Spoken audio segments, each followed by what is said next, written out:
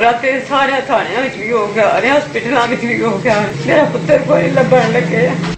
جیلم کے نوائی علاقہ چونترا میں شادی سے ایک دن قبل مہندی کی رات کو تیار ہونے کے لیے جانے والا دلہا ابھی تک واپس نہ آیا۔ توقیر عباس کا موبائل فون بھی رات سے بند ہے۔ لڑکے کی والدہ کا کہنا تھا کہ لڑکا، لڑکی دونوں کی پسند کی شادی ہے، لیکن میرے بیٹے کو کسی نے اگوا کر لیا ہے۔ کل میرے بیٹے کی مہندی سی آج میرے بیٹے کی برات ہے۔ میرا بیٹا کل کا دو بجے کا اغوا ہوا ہے۔ کوئی پتہ نہیں چل رہا میرا بیٹا کدھر ہے، کدھر نہیں۔